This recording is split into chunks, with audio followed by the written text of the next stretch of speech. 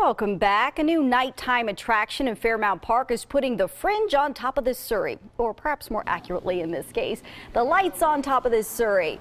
Wheel Fun Rentals at Boathouse Row is now offering these colorfully lit Surrey rentals. These night rides are available every evening through September 3rd from sunset to 10 p.m.